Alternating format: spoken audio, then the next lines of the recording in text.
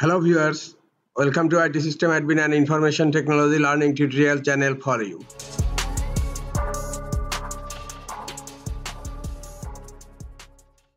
In this tutorial, I am going to show you how to remove wide gaps between words in Microsoft Word.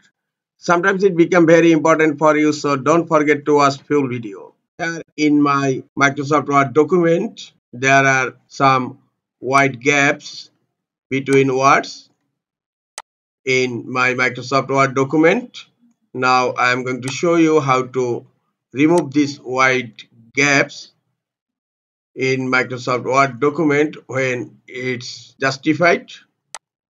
Click on File tab on upper left corner.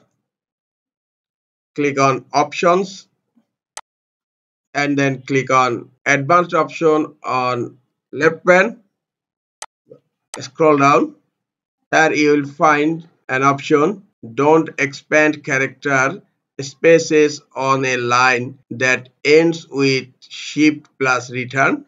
Now select it and then click on ok. And look extra gaps has been removed.